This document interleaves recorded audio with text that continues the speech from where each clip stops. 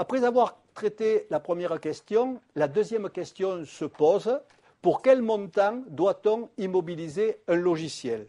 Et bien entendu, euh, toujours la même distinction qui nous sert un peu de référence, logiciel acquis, logiciel créé. Pour les logiciels euh, créés, pardon, on commence par les logiciels acquis, c'est très simple. Ce sera le prix de revient d'achat. Donc ça correspond à une acquisition et le prix de revient d'achat, vous connaissez, autrement dit le coût d'achat majoré des coûts directement attribuables. Donc on ne sort pas d'un actif courant. Par contre, pour le logiciel créé, bien sûr, il s'agira du coût de production. Et là, nous avons un problème. Où commence et où termine le coût de production? Or, il faut se référer à l'avis du Conseil national de la comptabilité qui a analysé en trois phases et huit opérations la création d'un logiciel par l'entreprise.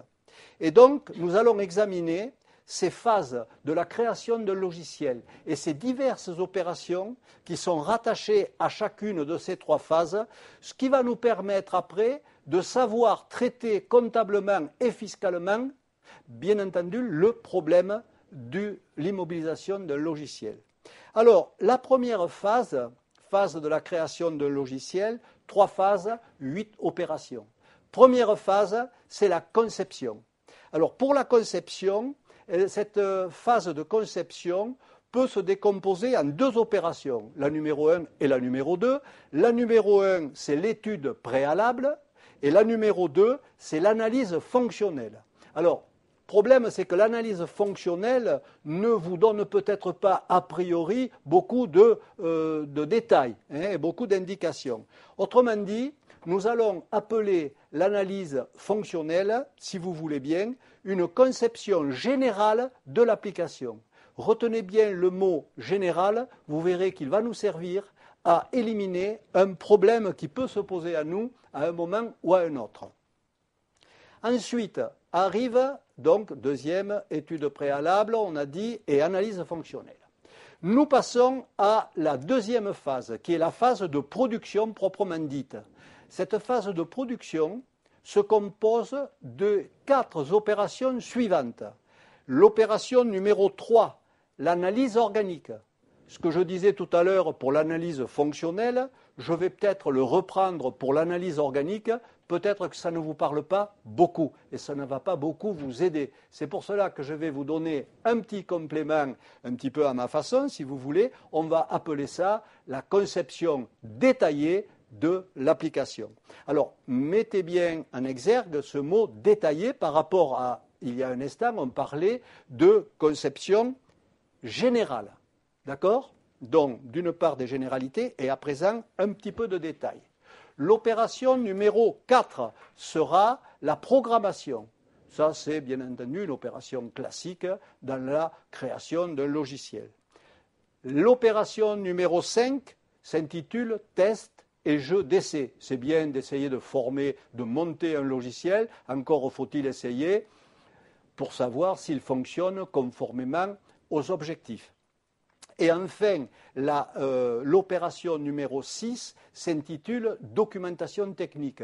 Cette dernière euh, opération est très importante euh, dans le traitement des logiciels créés. Nous y reviendrons en détail dans quelques moments. Donc on s'aperçoit en fait que dans ces phases de création d'un logiciel, il y a une phase très importante, c'est la phase de production. D'accord? Ah pardon, je crois qu'il faut quand même que je termine la troisième phase de la création du logiciel. La troisième phase va regrouper les deux dernières opérations, numéro 7 et numéro 8.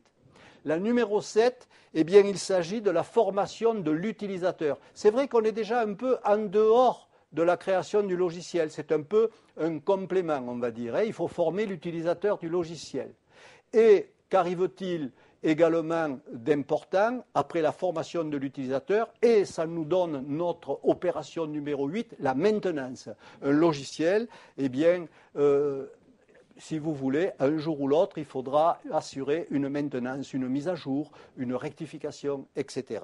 Donc voilà les trois phases et les huit opérations qui euh, se rattache à la création d'un logiciel au sein d'une entreprise.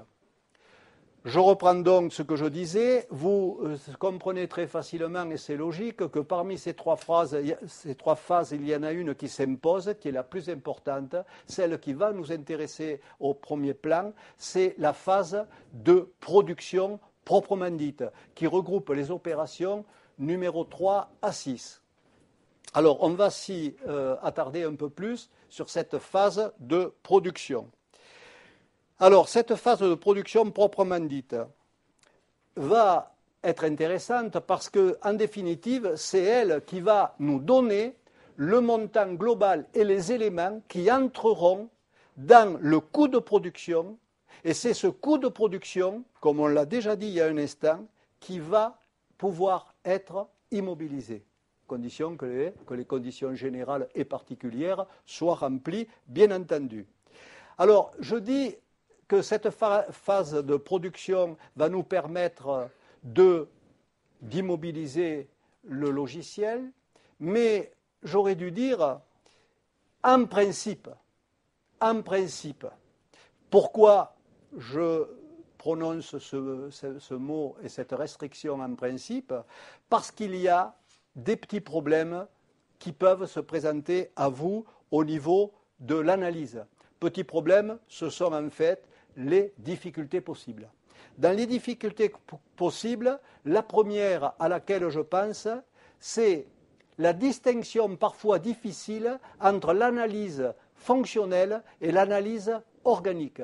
J'ai déjà apporté au préalable une petite réponse à ce, point particulier et je vous ai dit que le caractère général ou détaillé va nous permettre de faire la sélection et de résoudre ce problème euh, de difficulté. Autrement dit, si l'analyse fonctionnelle est générale, elle est exclue du coût de production.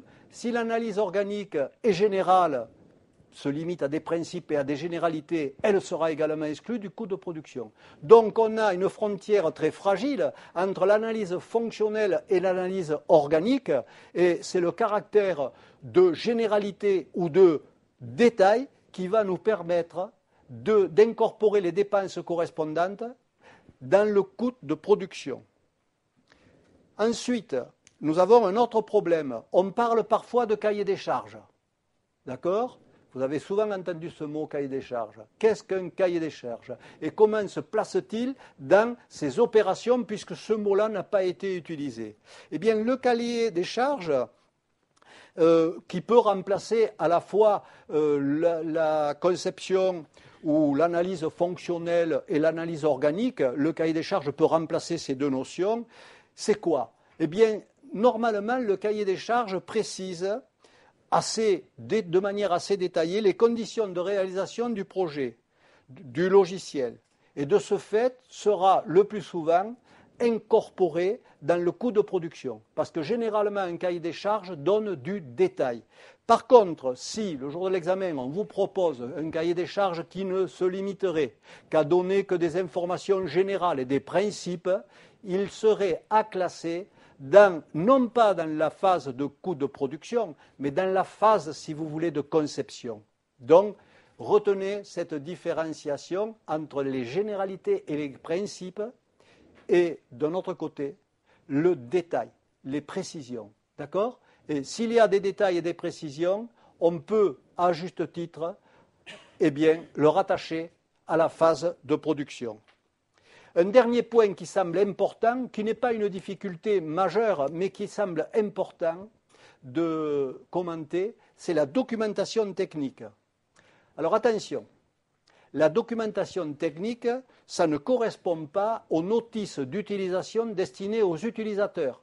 Absolument pas. Ceci fait partie plutôt, plus tard, après que le, logiciel soit créé, de la formation du personnel, etc. documentation technique est très importante car vous l'avez remarqué, c'est la dernière opération dans la phase de production. Donc ça, c'est un élément qui va donner lieu à des, dépenses qui sont à immobiliser. Donc, qu'est-ce que la documentation technique? Eh bien, c'est un document qui permet de comprendre l'élaboration du logiciel, de permettre sa mise à jour et de permettre éventuellement sa modification plus tard. Document très utile, vous le comprendrez aisément, dans la mesure où les modifications ultérieures seront apportées par des gens ou des personnes qui sont autres que les concepteurs. Donc il faut que la documentation technique soit un document réservé aux techniciens euh, capables de travailler sur le logiciel. Pour terminer, ce qu'on peut remarquer, c'est que les phases de conception et les phases finales de mise à disposition et de maintenance regroupent des dépenses qui seront toujours affectées dans les charges de l'exercice. D'accord? Il s'agit donc uniquement de, de la troisième phase, coût de production, phase de production, qui pourra être effectivement immobilisée. À présent, il convient de répondre à la troisième question, le point de départ de l'amortissement d'un logiciel.